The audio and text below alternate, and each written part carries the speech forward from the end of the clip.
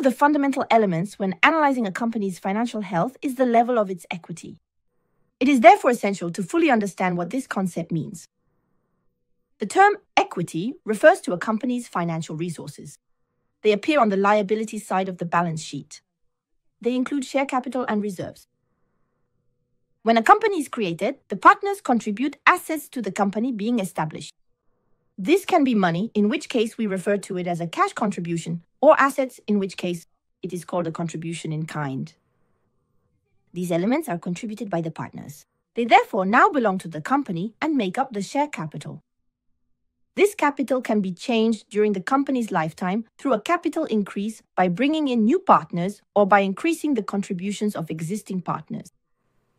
In some cases, a reduction of capital is also possible. The company can then begin its operations. When it completes its first fiscal year, it will show either a positive or negative result. If the result is positive, it is called a profit. The company decides what it wants to do with this result. It can distribute it to the partners as dividends or leave it at the company's disposal. This is what is called allocation to reserves. Reserves are therefore the portion of the profit that the partners choose not to take as dividends. So it's clear that the higher the reserves, the more. On the one hand, this means that the company has generated profit. And on the other hand, that the partners have been cautious and have not taken excessively large dividends. For these two reasons, reserves are considered a good indicator of the company's financial health. Let's take an example.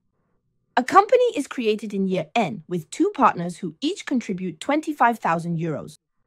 The share capital is therefore from 50,000 euros.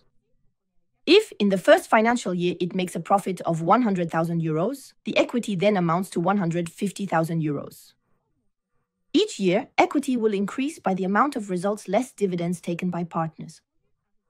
Of course, a loss will reduce the amount of equity. The amount of equity is not the only indicator of a company's financial health. In particular, equity corresponds to results achieved in the past. However, very often, it is the future of a company that matters in determining its sustainability and financial health. Equity is therefore a key concept for assessing the financial health of companies. They are often presented as the creditor's guarantee. It is therefore important to clearly understand what they represent.